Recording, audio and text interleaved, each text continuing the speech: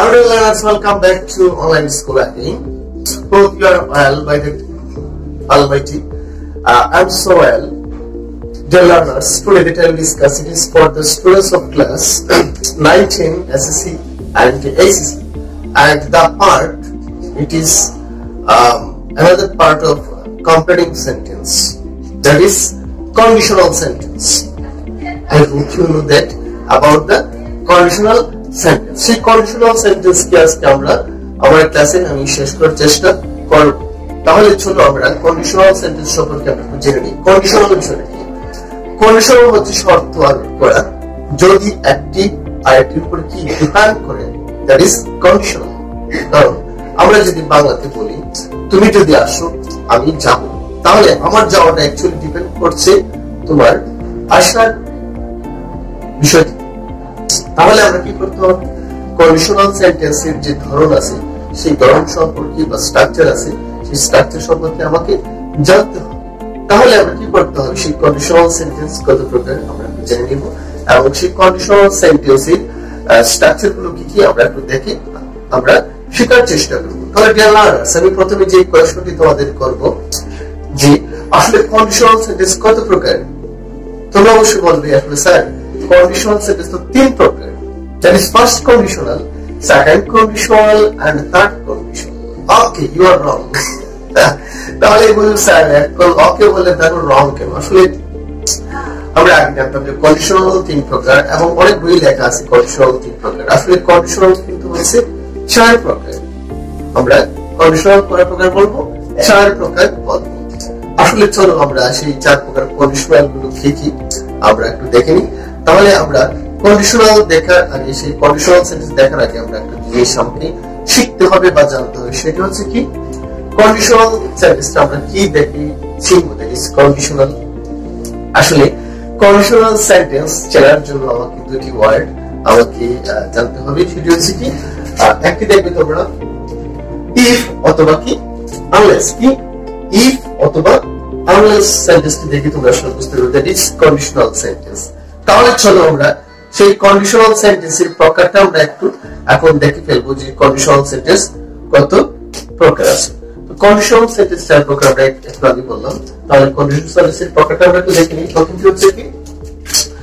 প্রথমটি হচ্ছে zero conditional number two first conditional এবং নাম্বার থ্রি সেকেন্ড কন্ডিশনাল এবং নাম্বার ফোর থার্ড কন্ডিশনাল সেই চার প্রকার কন্ডিশনাল নিয়ে আজকে আমরা কি করব? আজকে আমাদের ক্লাসকে আমরা আলোচনা করার চেষ্টা করব। তাহলে স্টুডেন্টস চলো আমরা সেই কন্ডিশনাল শুরু করি। আমাদের প্রথম ফার্স্ট কন্ডিশনালের প্রথমে যে কন্ডিশনালটি আলোচনা করতে কি জিরো কন্ডিশন তাহলে চলো let me start okay dear learners আমাদের যে কন্ডিশনালটি প্রথমে আলোচনা করব, সেটা হচ্ছে কি জিরো কন্ডিশনাল তাহলে জিরো আমরা শিখব কীভাবে বা চিনবো কীভাবে? তাহলে দেখো, যে সেন্টেন্স গুলোতে, যে সেন্টেন্স গুলোতে কি চিরন্তন সত্য, বৈজ্ঞানিক সত্য, অথবা অভ্যাসগত সত্য যাবে, তাহলে তাকে আমরা জিরো কন্ডিশনাল হিসেবে ধরতে পারি কি বললাম? যে সেন্টেন্সটিতে চিরন্তন সত্য বৈজ্ঞানিক সত্য অথবা অভ্যাসগত সত্য বুঝাবে সেই সেন্টেন্স গুলোকে আমরা, সেই সেই সেন্টেন্স গুলোকে আমরা জিরো কন্ডিশনাল হিসেবে আমরা চিহ্নিত করতে পারব তাহলে সেই জিরো কন্ডিশনাল স্ট্রাকচারটি কি হবে? আমরা একটু দেখে নিই। জিরো কন্ডিশনাল স্ট্রাকচারটি হবে যে আর ই প্লাস প্রেজেন্ট টেন্স প্রথম অংশ যদি প্রেজেন্ট টেন্স হয়, তাহলে পরবর্তী অংশকে আমাকে কি করতে হবে? প্রেজেন্ট টেন্স দিয়ে কিন্তু গঠন করতে হবে। কি? প্রথম অংশ যদি প্রেজেন্ট টেন্স হয়, অবশ্যই থাকবে। জিরো কন্ডিশনালের প্রথম অংশ প্রেজেন্ট টেন্স থাকবে। তাহলে আমাকে যখন ফিল করতে হবে, তাহলে পরবর্তী অংশ কি করতে হবে? আমাকে সেই প্রেজেন্ট টেন্সে কিন্তু ফিল করতে হবে। আমরা দুটি এক্সাম্পল একটু দেখে নিই। যেমন একটি প্রথম এক্সাম্পল এখানে আছে ইফ ইউ ইট ওয়াটার যদি তুমি পানিকে কি করো, খাবে। তাহলে কি হবে? ইট বয়েলস কি হবে? সিদ্ধ হবে। আমরা জানি। তো if you he that is present form তাহলে পরবর্তী অংশ কি হয়ে গেল? বয়েলস কারণ আমরা এখানে একটি এস দেখতে পাচ্ছি। তাহলে সেটি হচ্ছে কি? সেটিও প্রেজেন্ট টেন্সে হয়ে গেল এবং আরেকটি এক্সাম্পল আমরা দেখি ইফ ইউ ফ্রিজ ওয়াটার তুমি ফ্রিজ আপ করো যদি তুমি ফ্রিজে রাখো বা ফ্রিজ করো it becomes that is uh, also present in the আমরা দেখেছি এটাও প্রেজেন্ট টেন্স এটাও present tense it plus becomes ice যদি তুমি পানিতে কি করো ফ্রিজ করে রাখো ফ্রিজ করে রাখো তাহলে সেটি কি হয়ে যাবে? আইস হয়ে যাবে। এটা কি? একটা বৈজ্ঞানিক একটা বিষয়। তাহলে আমরা কি? আমরা জানলাম যে সেন্টেন্স গুলোতে চিরন্তন সত্য, বৈজ্ঞানিক সত্য এবং অভ্যাসগত সত্য বোঝাবে, সেটি কি? আসলে জিরো কন্ডিশনাল তোমরা আমরা কি দেখবে? প্রথম অংশ তো অবশ্যই আমাদের প্রেজেন্ট টেন্স থাকবে, পরবর্তী অংশকে আমাদের কি করতে হবে? প্রেজেন্ট টেন্সে গঠন করতে হবে। দ্যাট ইজ জিরো কন্ডিশনাল আমাদের স্ট্রাকচারটি সব সময় রাখবে। প্লাস প্রেজেন্ট টেন্স পরবর্তী অংশ কি হয়ে যাবে? প্রেজেন্ট টেন্স লার্নার্স এখন আমরা যে হচ্ছে কি? ফার্স্ট কন্ডিশনাল তাহলে চলো আমরা ফার্স্ট কন্ডিশনাল একটু দেখে নিই। ওকে ডিয়ার লার্নার্স আমাদের যে যে দ্বিতীয় ক্লজটি আছে হচ্ছে কি? ফার্স্ট কন্ডিশনাল কি? ফার্স্ট কন্ডিশনাল তাহলে আমরা ফার্স্ট কন্ডিশনালটাকে আমরা একটু দেখে নিই। ইফ ক্লোজটি একটি শর্ত বোঝায় যার পূরণ হতে পারে আবার কি নাও হতে পারে শর্ত? একটি শর্ত করবে যা এটি হতে পারে আবার কি নাও হতে পারে তাহলে আমাকে যে বিষয়টি জানতে হবে ফার্স্ট কন্ডিশন দেখতে হবে। যে ফার্স্ট কন্ডিশন স্ট্রাকচারটি হচ্ছে কি ই প্লাস প্রেজেন্ট ইনডিফিনিট ই প্লাস প্রেজেন্ট হবে এবং পরবর্তীটি কি হয়ে যাবে? ফিউচার ইনডিফিনিট হয়ে যাবে।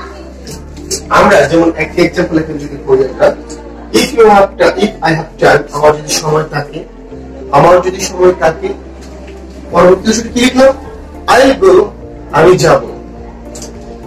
ইফ আই হ্যাভ টাইম আমার যদি সময় থাকে, তাহলে কি? আমি যাব। তাহলে একটি আরেকটির উপর কি? ডিপেন্ড করছে। যদি থাকে, তাহলে আমি কি যাব? হতে পারে বা নাও যেতে পারে। তাহলে কি? পরবর্তী একটি হচ্ছে if you call if he calls me if he calls me সে যদি আমাকে ডাকে আই শ্যাল হেল্প হিম আমি তাই কি করব? সাহায্য করব। এখানে আরেকটা এক্সাম্পল দেওয়া আছে। ইফ হি রানস ফাস্ট সে যদি খুব দ্রুত দৌড়ায় he will win the prize সে প্রাইজটি কি করবে? লাভ করবে। তাহলে ডিয়ার লার্নার্স আমাদের যে নাম্বার টু ফার্স্ট কন্ডিশন আমরা দেখলাম, সেটি হচ্ছে কি? স্ট্রাকচারটি হবে ই প্লাস ইনডিফিনিট অংশটি কি হয়ে যাবে? ফিউচার ইনডিফিনিট সেটি আমাকে একটু খেয়াল করতে হবে সেই জন্য আমাকে টেন্সটাকে জানতে হবে যে প্রেজেন্ট ইনডিফিনিট কি আর ফিউচার ইনডিফিনিট কি, সেটি ভালো পারতে গেলে তোমাকে কি করতে হবে? দেখে নিতে হবে। আমরা আমাদের তিন number step is second conditionality নিয়ে আমরা কি করব? আলোচনা করো তাহলে চলো। আগে যে লার্নার্স আমাদের নাম্বার থ্রি হচ্ছে কি? সেকেন্ড কন্ডিশনাল আমরা যেটি নিয়ে আলোচনা করব it is a content fact content fact that is বাস্তব যদি আমরা বুঝব। Conditional second conditional contrary to fact that is বাস্তব বিরোধী। বাস্তব বিরোধী বলতে কি? এটা আসলে তোমরা জানো। তাহলে আমরা সেই স্ট্রাকচারটি একটু দেখতে পাবো সেটা হচ্ছে এ প্লাস ফার্স্ট ইনফিনিট হবে, পরবর্তী অংশটি কি হয়ে যাবে? Subject plus would could should might V one plus object তাহলে আমাদের কি কত? কি জানতে হবে? পরবর্তী অংশটি কি হয়ে যাবে? Subject plus would could should might তারপরে কি? ভি ওয়ান প্লাস অবজেক্ট তাহলে আমরা একটা এক্সাম্পল একটু দেখে নিই। এবং প্রথম এক্সাম্পলটা আমরা একটা লেখা আছে বন্ধুরা ইফ হি কেম সে যদি আসতো ইফ হি কেম সে যদি আসতো দ্যাট ইজ ফার্স্ট ফার্স্ট ইনিফিটে লেখা আছে, আমরা ফার্স্ট ইনিফিট দিয়ে দিলাম ইফ হি কেম সে যদি আসতো আই উড গো সাবজেক্ট যে একটা নিয়ে নিলাম প্লাস ভি ওয়ান আমরা দিয়ে দিলাম। যদি তোমরা ইচ্ছে হয় অবজেক্ট ব্যবহার করবে, তাও করতে পারো। যেমন আমরা যদি দেখি ইফ হি কেম সে যদি আসতো I would go to school আমরা সেই অবজেক্টিভ দিয়ে দিলাম।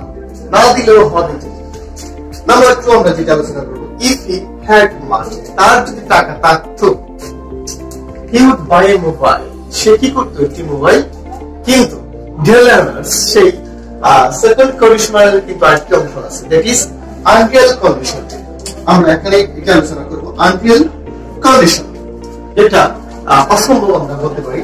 আমরা অনেক সময় জানি, যেমন স্ট্যাটিস্টিশিয়ান মধ্যে ইফ আই ওয়ার বার্ড আমি যদি একটি পাখি হতাম if I were a bird আমরা যদি, আমি যদি পাখি হতাম, তাহলে কি? I would fly the sky আমি কোনো পাখি হতে পারব না। আর আকাশে কি? উঠতে পারব না। দ্যাট ইজ আনরিয়াল তাহলে তোমাকে যদি ওয়ার থাকে, তাহলে বুঝবি এটা আনরিয়াল কন্ডিশন সেকেন্ড কন্ডিশনের একটা অংশ হচ্ছে কি? আনরিয়াল কন্ডিশন যেমন আমরা আরেকটা এক্সাম্পল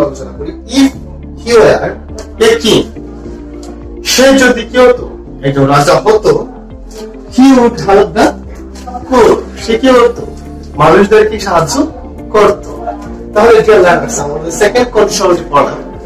এটা আমাকে সবসময় মনে রাখতে হবে যে ই প্লাস ফার্স্ট পরবর্তী অংশ কি হবে subject could could show my plus V one plus object সেটা আমাকে করতে হবে। মনে রাখতে হবে এবং বেশি প্র্যাকটিস করতে হবে। আমি আরেকটি অংশ আলোচনা করব দ্যাট ইজ থার্ড কন্ডিশন তাহলে চলো, সেই থার্ড কন্ডিশনাল স্ট্রাকচারটা আমরা দেখে Learners, that is for third conditional sentence এবং at last সর্বশেষ আমরা সেই conditional sentence নিয়ে আলোচনা করব। That is third conditional এখন সেই স্ট্রাকচারটা আমরা দেখে ফেলব। সেই স্ট্রাকচারটা হচ্ছে কি? ফার্স্ট পারফেক্ট পরবর্তী অংশ কি হয়ে যাবে? যদি সেই সেন্টেন্সটি ফার্স্ট পারফেক্ট টেন্সে শুরু হয় তাহলে পরবর্তী অংশটি কি হবে? দেখে নিই। Subject would have could have might have বা শুড হ্যাভ তারপরে কি হবে? বৃদ্ধি হবে প্লাস অবজেক্ট সেটা হচ্ছে কি? পার্ট কন্ডিশনালের স্ট্রাকচার আমরা সেই স্ট্রাকচার থেকে কয়েকটি এক্সাম্পল একটু দেখার চেষ্টা করব। যেমন আমি প্রথম যে এক্সাম্পল দিয়েছি ইফ হি হ্যাড ইনভাইটেড সে যদি আমাকে কি করতো? ইনভাইট করতো। I could have attend the party আবার বলছেন if he had invited me এটা ফার্স্ট পারফেক্ট টেন্সে শুরু হবে।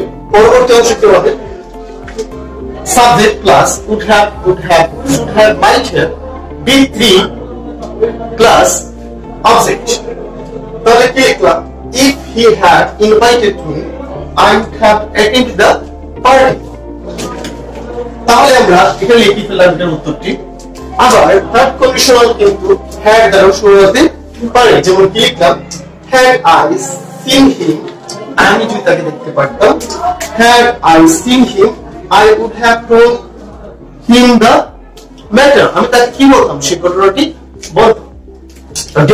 আমরা কিন্তু চারটি কন্ডিশনাল করে ফেললাম। তোমরা বাসায় কি করবে? একটু প্র্যাকটিস করবে এবং সেই কন্ডিশনাল সেন্টেন্স কিন্তু পরীক্ষাতে এক দুটি তোমরা অবশ্যই পাবে। সেজন্য সেই নোটটি তোমরা বাসায় সুন্দর করে লিখে ফেলবে এবং তোমাদের এক্সারসাইজ বুক থেকে সেই এক্সারসাইজগুলো একটু দেখার চেষ্টা করবে। কারণ এক্সারসাইজ ছাড়া তোমরা কি করতে পারবে না। সেই ভালো ভালোভাবে শিখতে পারবে না। For this video you have to practice more and more dear learners আমার ক্লাস শেষ মুহূর্তে। আমি শেষ মুহূর্তে ক্লাস শেষ করার আগে আমি তোমাদের জন্য পাঁচ থেকে ছয়টি হোমওয়ার্কস দিয়ে দিব। সেই হোমওয়ার্কসগুলো তোমরা করার চেষ্টা করবে। এবং সেই ক্লাসটি যদি ভালো লাগ- তাহলে কি করবে? একটি লাইক দিবে এবং তোমাদের পরবর্তী কোন ক্লাস আমি দিব বা কোন ক্লাস তোমরা করতে চাও সেটি তোমরা ইনবক্সে তোমরা একটু মেসেজও করতে পারো। ততক্ষণ পর্যন্ত কি থাকবে? ভালো থাকবে। ধন্যবাদ